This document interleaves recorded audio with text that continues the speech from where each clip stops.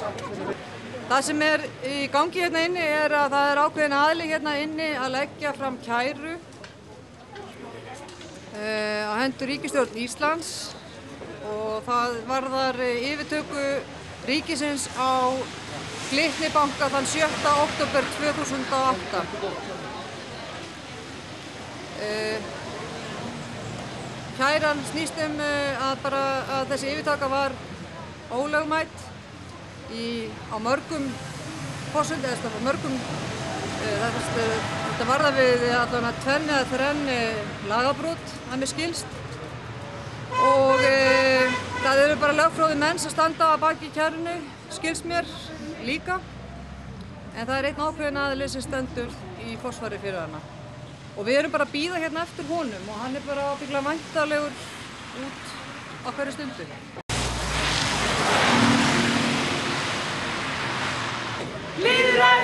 eftir kæftæði, líðræði eftir kæftæði, líðræði eftir kæftæði, líðræði eftir kæftæði, líðræði eftir kæftæði, líðræði eftir kæftæði, líðræði eftir kæftæði, líðræði eftir kæftæði. Jæja, góðan dag, ég ætla að afhengt ykkur hérna frettatilkynningu.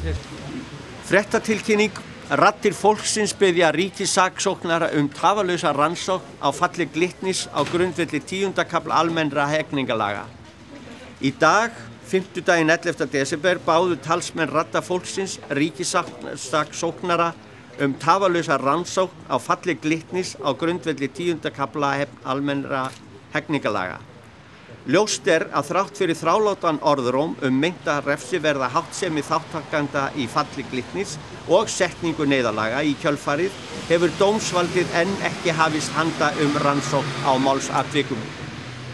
Á síðustu dögum hefur komið fram að endurskoðendur stærstu hluthafa glitnis hafa mánuðum sama verið í fullri vinnu við að endurskoða sjálfa sig án vittnesku yfirstjórnar fjármála eftirlitsins og bankamála ráþeira um meint ólögmætt hagsmunatengsl. Þá hefur einnig komið fram að formanni bankastjórnar Sæðlabankans og fársættisráðherra greinir á um grundvarlar atriði á undanfara áfall falsglitnis og fjármála ráðherra er uppvís að missögnum og grundvallar þekkingaleysi á í aðkomu að málinu. Í þessari grafalvarlegu uh, graf stöðu þar sem sjálfum grundvelli réttaríkisins er ógnað af þeim sem síst skildi hefur dómsvaldi brauðist skildum sínum. Ljóst er að dómsmálaráð þeirra hefur sínt vítavert sinnuleysi í viðbrauðum við einum stærsta vanda sem dunið hefur yfir þjóðina. Dómsmálaráð þeirra ber því að axla ábyrð og segja tafalaust af sér. Rattir fólksins. Hvaða svör fenguðu frá ennbætsmunni? Þessi, það er ekki takt, það er ekki fjármunni til. Það, þetta er bara sá tótt. Þetta er ekki hægt, þetta er ekki þeirra deild. Þetta verður að fara í gegnum alþingi. Þetta er sama svarið. Þannig að þeir vildi ekki taka við kærunni?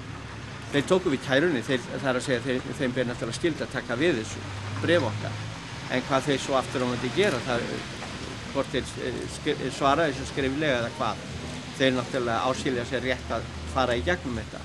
Hverjir kæra og hverja eru við að kæra?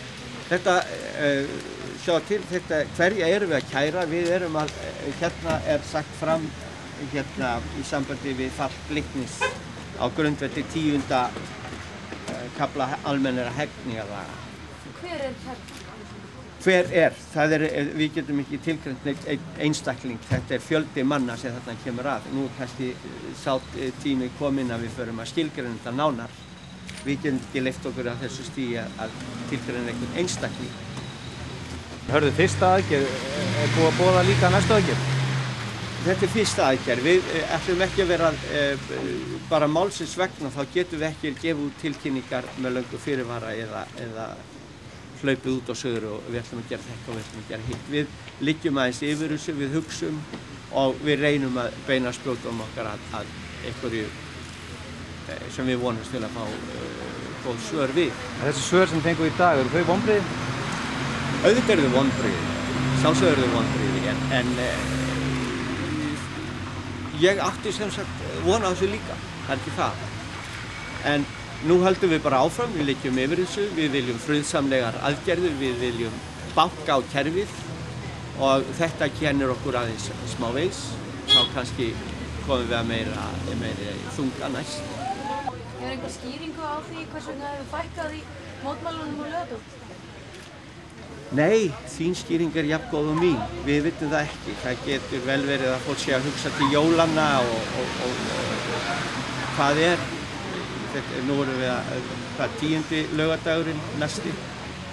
Uh, það getur, þetta er kannski eðli Íslandingsins, hann líkir sér oft við hafið, öldur hafsins og ég er ansið hrættur um að, að, að það verði ekki svona rólegt þegar það kemur janúar og februar þegar afleggingar jólanna koma og uppsagnirna koma í, í janúar byrjun. Við höfum kannski eftir að sjá hér fólk gangandi svart, uh, svart uh, á göttunum, atvinnulust og, og matalust og fleira. Ég veit ekki, ég von ekki en ég ansett þessum að svo sé. Takk fyrir.